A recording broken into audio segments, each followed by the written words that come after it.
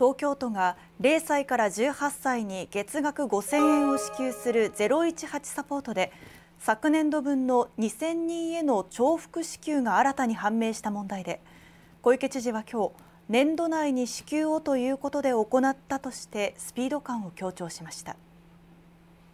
令和5年度分についてはあの年度内に支給をということで行いまして、えそしてそれについてはあの生産をしているというところでございます。0歳から18歳に月額5000円を支給する018サポートで東京都は先週手違いにより複数回申し込み申請情報に誤りがあった人などおよそ2000人への重複支給があったことを明らかにしました。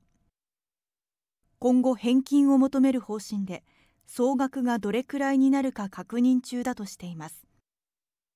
都によりますと018サポートの申請で重複がないかを調べるためには申請された情報と住民基本台帳を照らし合わせて確認する仕組みが必要でした。しかしサービスを始めた昨年度は年度内に支給を始めることを重視しこの仕組みを整える前に支給を始めたということです。都の担当者は迅速に支給するために称号を支給後にした返金が必要になることは想定していたとしています。018サポートをめぐっては今月2日にもマイナンバーカードを使った申請で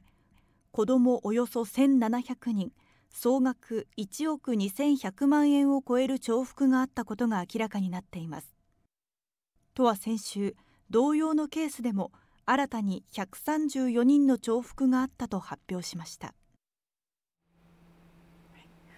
子育て世帯への支援である018サポートでなぜ重複支給が起きてしまったのかその経緯を見ていきます。昨年度分のおよそ2000人の重複支給については住民基本台帳と合わせて確認すればわかるはずでした。ただ年度内に支給を始めることを優先するあまりこの仕組みがないまま支給を始めたことが一因です。例えば手違いで両親それぞれが申請してしまいさらにどちらかが振り仮名の小文字を大文字に打ち間違えてしまった場合元となる正しいデータがないためこの2件が別人と判定されて重複支給につながってしまったということなんです。東京都は入力ミスで返金が必要になることは承知していたと釈明していて現在は住民基本台帳との照合もできているとしています。そして申請の重複に関しては今月2日にもマイナンバーカードを使った申請で明らかになっています。